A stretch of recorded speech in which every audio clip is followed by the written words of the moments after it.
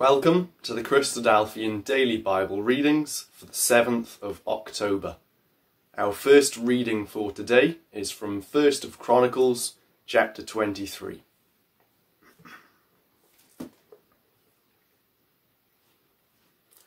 So when David was old and full of days, he made Solomon his son king over Israel. And he gathered together all the princes of Israel with the priests and the Levites. Now the Levites were numbered from the age of thirty years and upward, and their number by their polls, man by man, was thirty and eight thousand, of which twenty and four thousand were to set forward the work of the house of Yahweh, and six thousand were officers and judges. Moreover, four thousand were porters, four thousand praised Yahweh with the instruments which I made, said David, to praise therewith. And David divided them into courses among the sons of Levi, namely Gershon, Kohath, and Merari. Of the Gershonites were Laadan and Shimei. The sons of Laadan, the chief was Yehiel, and Zetham, and Joel, three. The sons of Shimei, Shelomith, and Haziel, and Haran, three. These were the chief of the fathers of Laadan. And the sons of Shimei were Yahath, Zina, and Yeush, and Beriah. These four were the sons of Shimei. And Yahath was the chief, and Zizah the second. But Yeush and Beriah had not many sons. Therefore they were in one reckoning, according to their father's house. The sons of Kohath, Amram, Izhar, Hebron, and Uzziel, four. The sons of Amram, Aaron, and Moses. And Aaron was separated, that he should sanctify the most holy things, he and his sons for ever, to burn incense before Yahweh, to minister unto him, and to bless his name for ever. Now concerning Moses, the man of God, his sons were named of the tribe of Levi. The sons of Moses were Gershom and Eliezer. Of the sons of Gershom, Shebuel, was the chief, and the sons of Eliezer were Rehabiah the chief, and Eliezer had none other sons, but the sons of Rehabiah were very many. Of the sons of Izhar, Shelomith the chief. Of the sons of Hebron, Uriah the first, Amariah the second, Yahaziel the third, and Yekamiam the fourth. Of the sons of Uzziel, Micah the first, and Yesiah the second. The sons of Merari, Mahli and Mushi. The sons of Mahli, Eleazar and Kish. And Eleazar died, and had no sons, but daughters. And their brethren, the sons of Kish, took them. The sons of Mushai, Mahli, and Eder, and Jeremoth, three. These were the sons of Levi, after the house of their fathers, even the chief of the fathers, as they were counted by number of names by their polls, that did the work for the service of the house of the Lord, from the age of twenty years and upward. For David said, The Lord God of Israel has given rest unto his people, that they may dwell in Jerusalem for ever and also unto the Levites, they shall no more carry the tabernacle, nor any vessels of it for the service thereof. For by the last words of David, the Levites were numbered from twenty years old and above, because their office was to wait on the sons of Aaron for the service of the house of the Lord, in the courts and in the chambers, and in the purifying of all holy things, and the work of the service of the house of God, both for the showbread and for the fine flour, for meat offering and for the unleavened cakes, and for that which is baked in the pan, and for that which is fried, and for all manner of measure and size, and to stand every morning to thank and praise the Lord, and likewise at even, and to offer all burnt sacrifices unto the Lord in the Sabbaths, in the new moons, and on the set feasts, by number, according to the order commanded unto them continually before the Lord, and that they should keep the charge of the tabernacle of the congregation, and the charge of the holy place, and the charge of the sons of Aaron their brethren, in the service of the house of the Lord.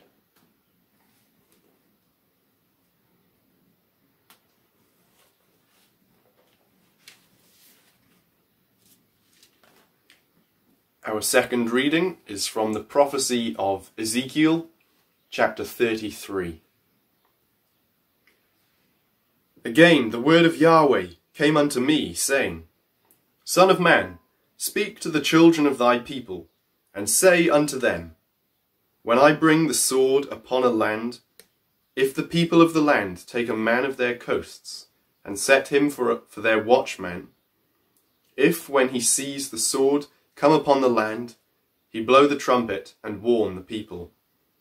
Then whosoever hears the sound of the trumpet and takes not warning, if the sword come and take him away, his blood shall be upon his own head. He heard the sound of the trumpet and took not warning, his blood shall be upon him. But he that takes warning shall deliver his soul. But if the watchman see the sword come, and blow not the trumpet, and the people be not warned, if the sword come and take any person from among them, he is taken away in his iniquity, but his blood will I require at the watchman's hand. So thou, O Son of Man, I have set thee a watchman unto the house of Israel. Therefore thou shalt hear the word at my mouth, and warn them from me. When I say unto the wicked, O wicked man, thou shalt surely die.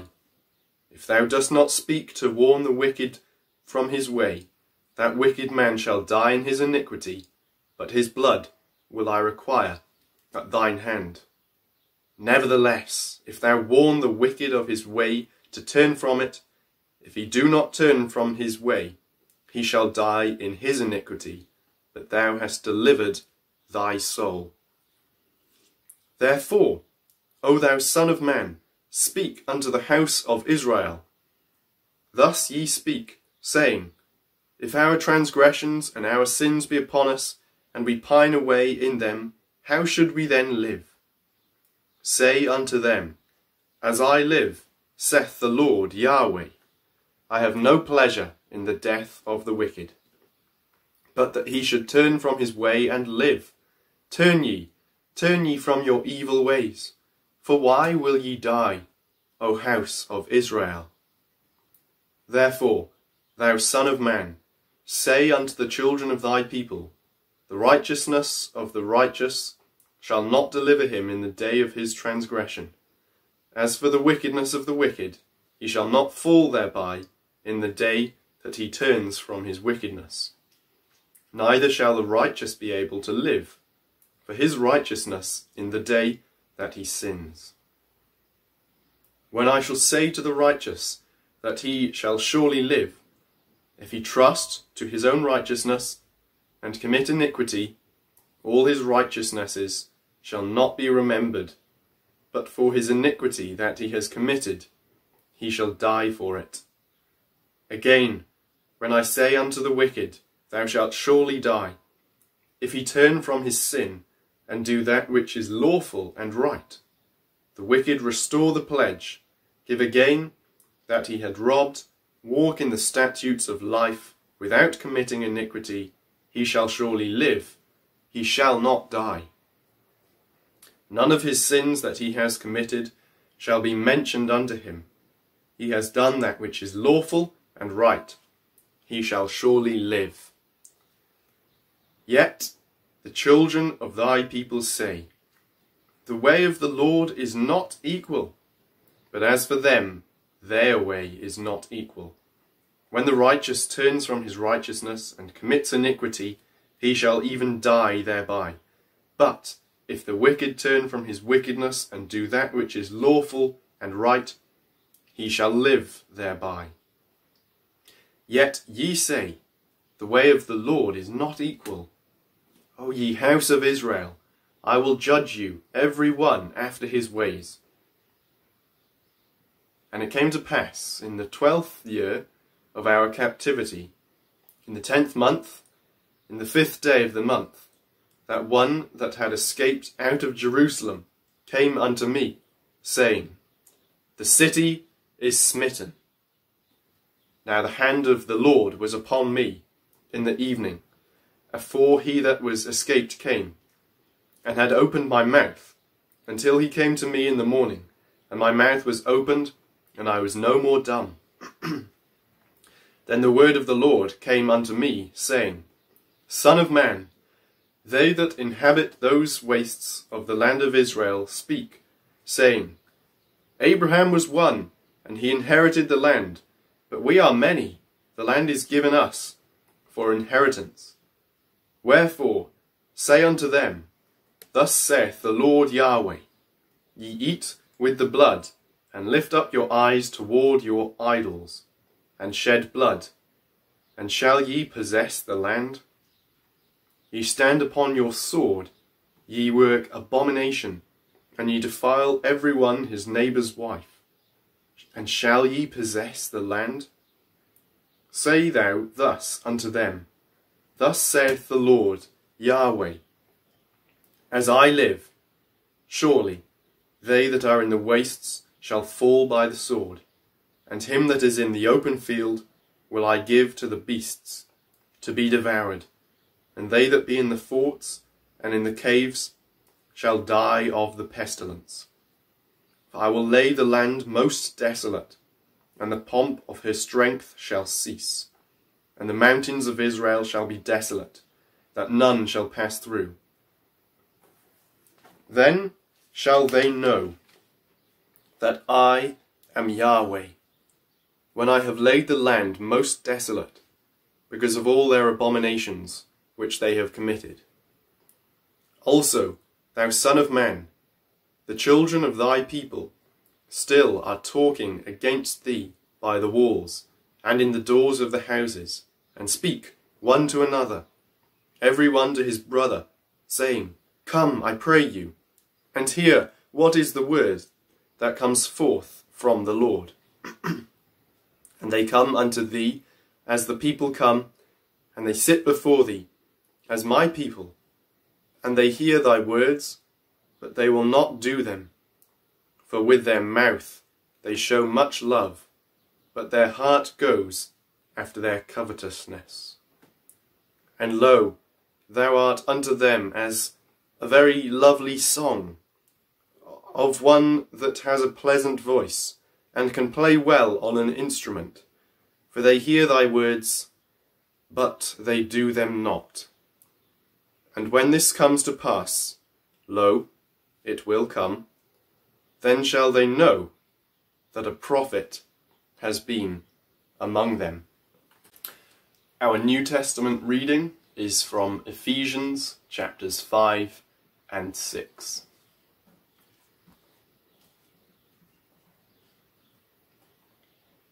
Be ye therefore followers of God as dear children and walk in love, as Christ also has loved us, and has given himself for us, an offering and a sacrifice to God for a sweet-smelling savour. But fornication and all uncleanness or covetousness, let it not be once named among you, as becomes saints. Neither filthiness, nor foolish talking, nor jesting, which are not convenient, but rather giving of thanks. For this ye know, that no whoremonger, nor unclean person, nor covetous man, who is an idolater, has any inheritance in the kingdom of Christ and of God. Let no man deceive you with vain words, for because of these things comes the wrath of God upon the children of disobedience. Be not ye therefore partakers with them. For ye were sometimes darkness, but now ye are light in the Lord. Walk as children of light.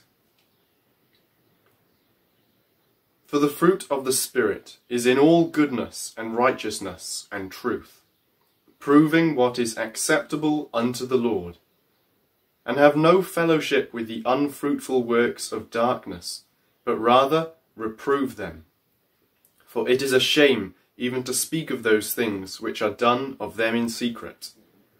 But all things that are reproved are made manifest by the light.